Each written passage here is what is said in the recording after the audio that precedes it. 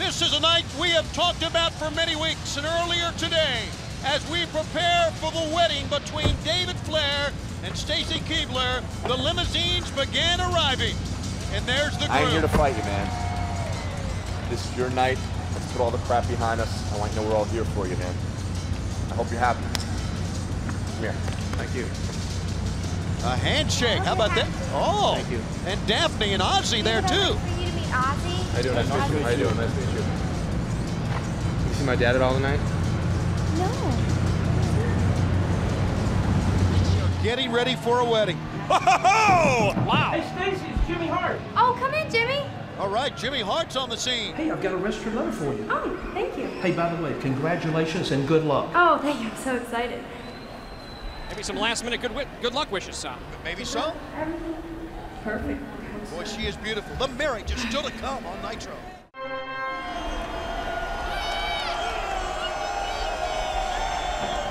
The lovely bride to be and the mysterious registered letter.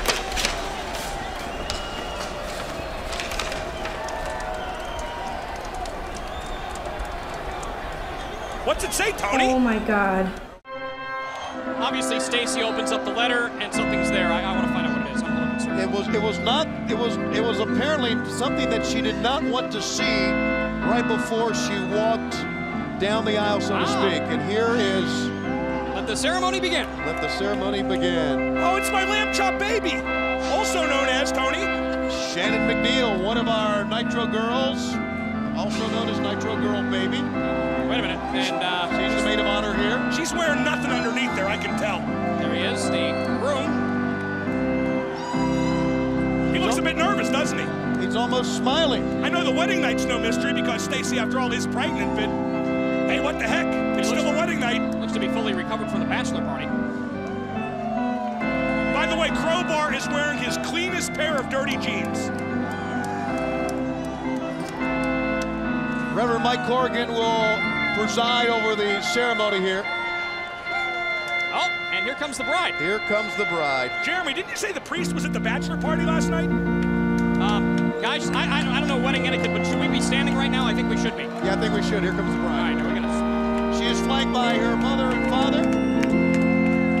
She looks radiant.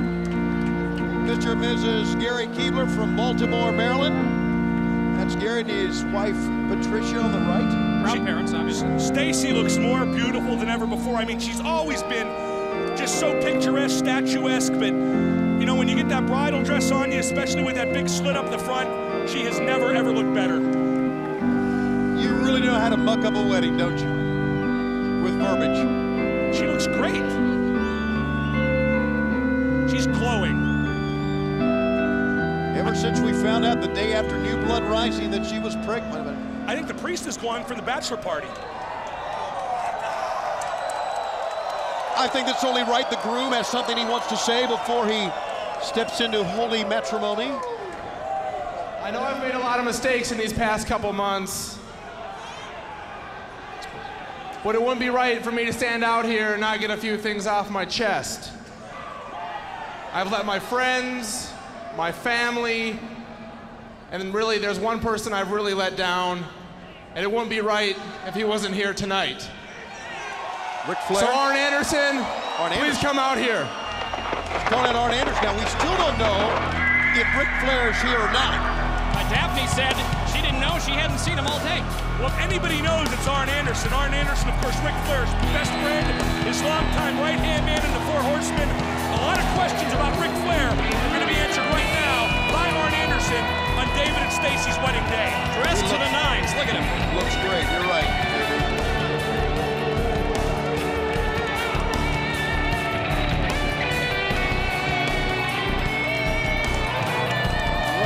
Incredible night this is going to be. As Arn Anderson David, my man, you clean up pretty good, and some of us are looking pretty good ourselves. But you're a grown man now. I can't hardly stand it. I'm just going to give you a few choice words of wisdom, and let's get this thing rolling. Oh boy. Rule number one, and this is just kind of between me and David, so just uh, talk to your mom or something. Last minute advice.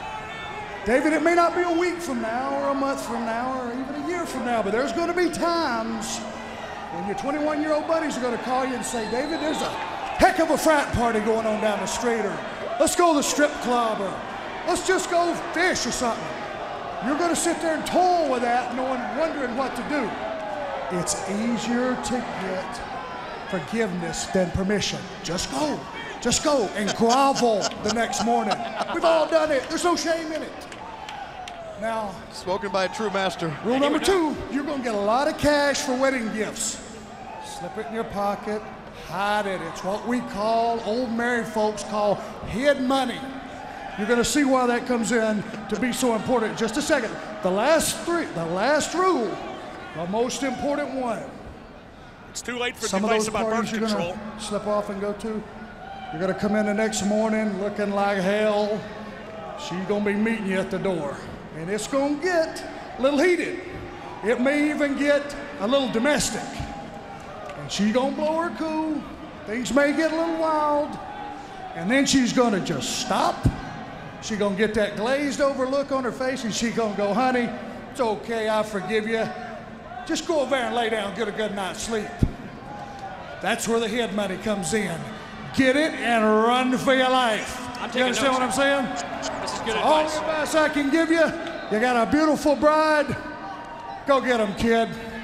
Thank you, Arn. Thank What's you. gonna happen when Arn Anderson goes home tonight? Oh boy. I can tell you one thing that won't be happening. And you know what? There is one more person missing, Oh yeah. and there's nothing I wouldn't do to have him right here by my side as my best man. Could it be? So, to my dad, Ric Oh, Flair, hit. come on down. It's Ric! Yes! Oh. Let bygones be bygones. The Nature Boy wouldn't have missed this day for the world. It's only right that the greatest wrestler in history be here for the holy union of his Dunsky son and this gold digger, Stacy. And take a look at Ric Flair looking as clean as he can. Look at this. He's got his hair back. Of course he does. Actually, I think he has David's hair. That is David Flair's haircut. There is no one seated here in the Independence Arena.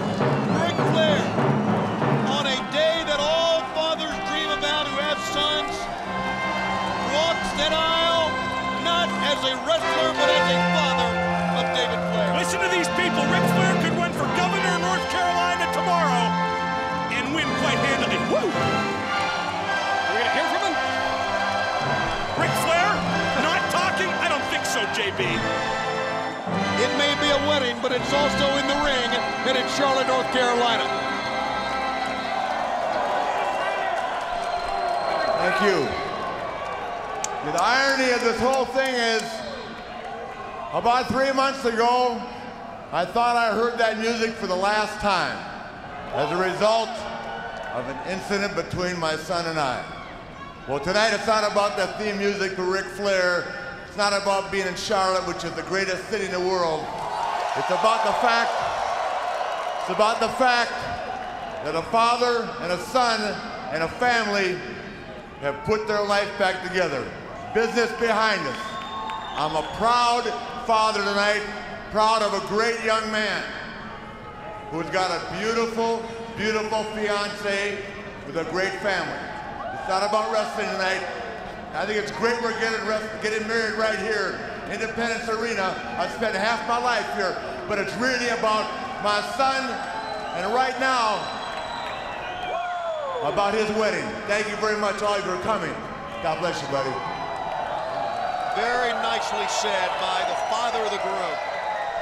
Dearly beloved, we are gathered here tonight in the sight of God and in witness of this great and holy congregation to celebrate one of the great mysteries of life. What a beautiful moment. What We are here to give night. recognition to the worth and beauty of love and to add our best wishes and, and words. What is this? I'm. What is this? Now, does this have something to do with the registered letter? What's going on here? There's guys in suits, there's cops. Uh, cops coming to the ring. They're not invited guests, are they? Uh, guys, I gotta go check this out. I'm gonna I'm gonna bring a mic up to the ring. All right, Jeremy's going to the ring. Mr. Are you Mr. Flair from Charlotte, North Carolina? I'm Officer Gearhart of the Charlotte Police Department. I'm really sorry to have to do this, but earlier today, Mr. Vince, Mr. Vince Russo took out a restraining order against you, And the stipulations are that you will be arrested if you come within 100 feet of this arena tonight. This can't Come on, this is not a gag. This is a real winning. You wanted this costume. Brother, I was going to be governor of this state. Watch who you're arresting tonight. I understand, sir, but I, I'm going to have to ask you to put your hands in front of you. Oh, no. We'll have to take you down to the No, station. oh, God, no. Please, if, if we do this quickly, we can. Wait, I'm serious. I'm arresting sorry, sir. Please, if you would. Well, hey, rules is rules, Tony. Rules is We'll explain rules. it when you get there. Baloney.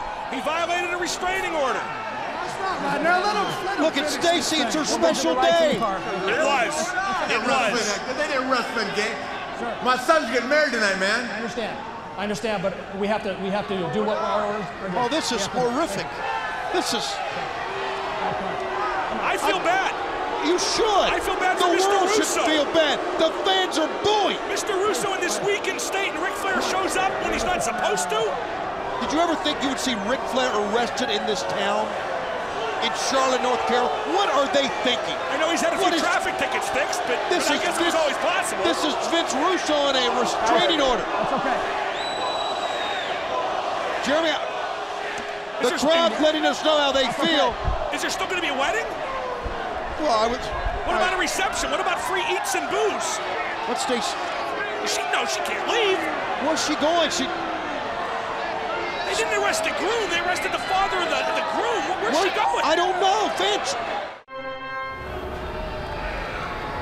What can be going through that beautiful young lady's mind right now? Stacy, honey, Stacy, come here, please. I'm so sorry this happened out there. I love you so much. Who cares about my father? Who cares about Vince? I reset everything up. Let's go out there and get married again. Come on. We've already had enough bad luck and everything. Let's just do it another time. We'll plan. We'll replan it. We'll just have it better. But Stacy, I love you. I brought you here to Charlotte to get married in front of my whole family and everybody. Let's go, please, Stacy. I love you. Come on, please. Okay, everything's been reset, at least most has been reset. And Stacy has been convinced now by David Flair to walk the aisle again, and we're going to get this marriage off finally. You know who I blame for everything bad that's happened? Vince Russo. Mr. Keibler's obviously a cheapskate.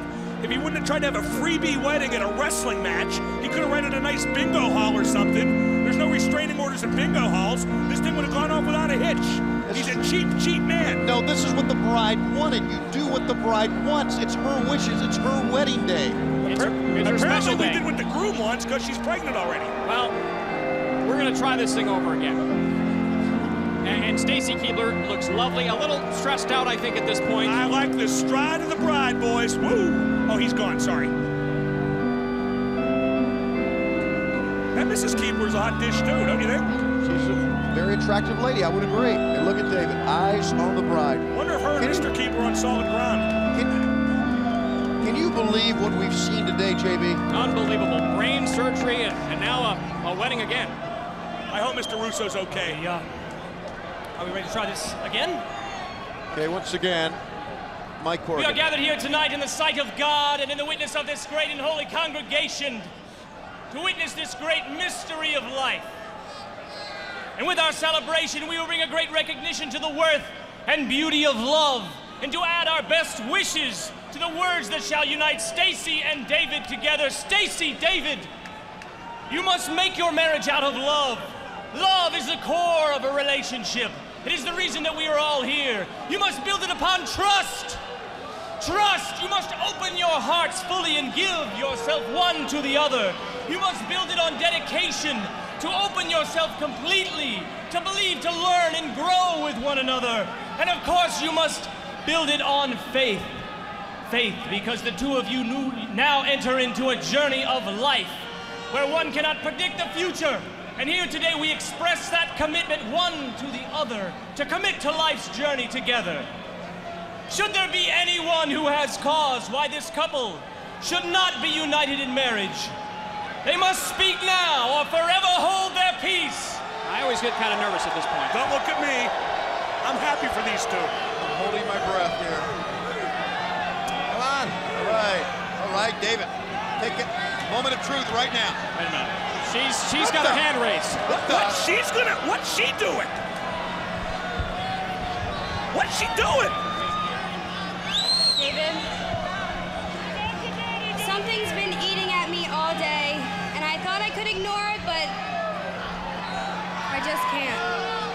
What is it? What is it? What, what, what, what, what, what, what? Well, you know when I told you that we were pregnant? Yeah, I mean, you're not having a baby? We're not having a baby? Oh no, I'm pregnant. But um, you're not the father. Whoa! Whoa! Oh, boy. Oh! I'm sorry. I'm sorry. I, I, I I'm can't- not the I can't- I can't do it. I'm If sorry. it's not David, where'd she go? She's leaving him at the altar. She's running away. Did she say what I think she said? She said he was not the father. David Flair is not the father? She just lowered the boom on Now, wait a minute. Who the hell is the father? I don't know.